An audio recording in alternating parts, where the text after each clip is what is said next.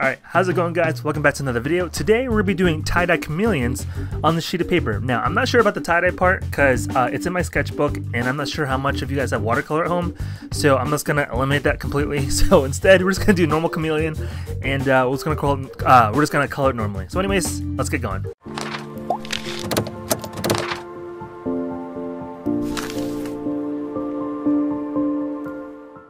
Alright, so this is my tie-dye chameleon, or I should just say chameleon, from a couple years back, and I drew it on this uh, sheet of paper, which was watercolor paper, so I could have the ability to color it if I wanted to. However, I understand that some people don't have that ability to do that at home, so instead, we're to be doing it on just a regular sheet of paper. So what you're to need is a regular sheet of paper, um, something to draw with, and that's all you need. So anyways, as always, when it comes to remote learning, coloring is optional. Now, with that said, let's get going. So the first thing um, I would like to do is draw where the tree is going to be located. So I like to pick the left side, and I'm going to tilt it a little bit. So of course, here's my tree trunk, just like this. And then I'm going to draw the branch where it's going to sit. So I'm going to go like this, and actually I'm going to make a branch stick out the bottom a little bit, and I'll continue at the end.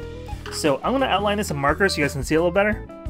Now before I do that, um, I noticed, I'm glad I caught this, uh, I noticed that I did some leaves, and I want to do that first in marker because I won't have the opportunity to erase marker later. So with the leaf there, and I think a leaf a couple other places like this, just like this, maybe one side like that, I'll do three, and then maybe a couple more leaves on other places.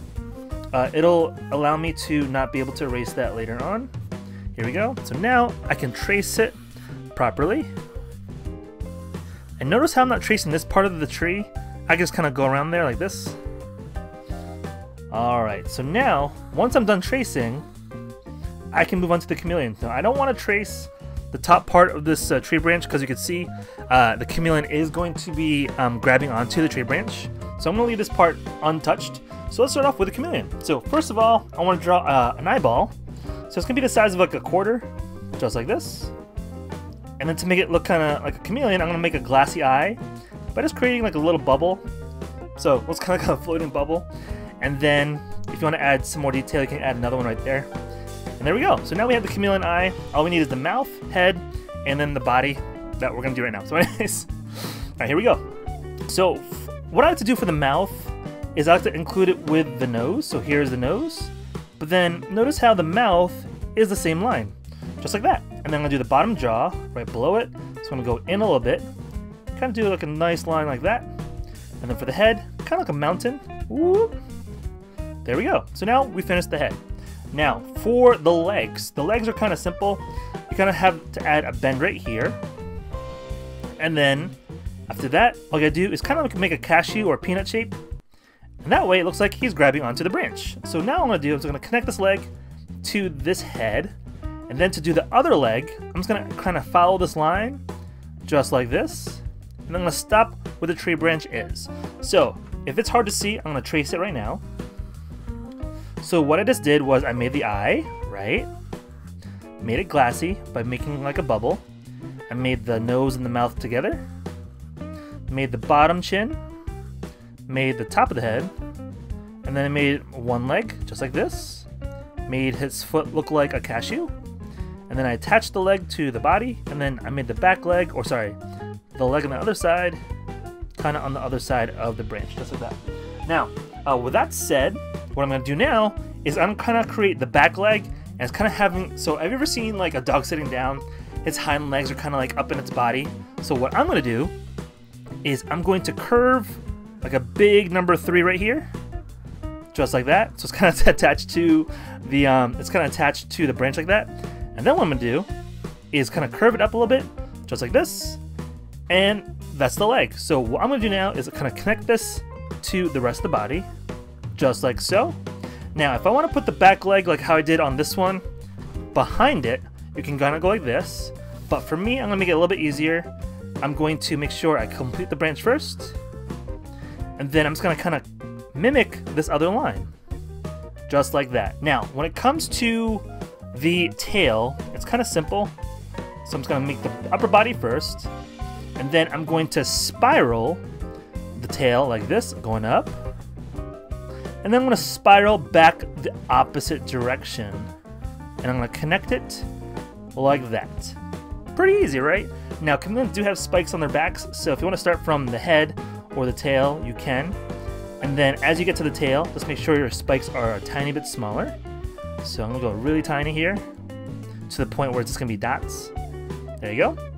And then, to make it more of a jungle theme, I'm gonna add some more leaves, branches, and maybe a scene in the background. So here I go. Maybe I add a hill back here. Maybe a hill over here. Uh, maybe a body of water right there. Maybe another hill right here. Um, let's see, maybe a mountain coming through. There you go. Hmm, maybe another mountain on this side. There we are. Alright, now I can add some more branches going the opposite direction. Maybe some leaves to go with them.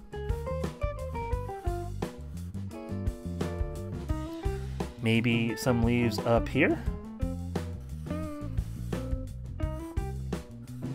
That looks really good. And I think I have some room down here. Maybe some wild grass. Just like how I did for the parrots from a couple years ago. I think from another project you guys did. I'm not too sure. And then finally, I'm going to add some clouds.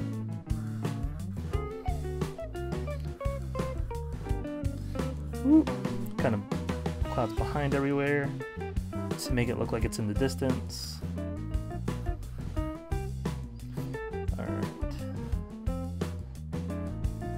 Alright, ta-da! Alright, I, no, I think I'm gonna add more. there you go. Alright, I think that's enough clouds. I went cloud crazy.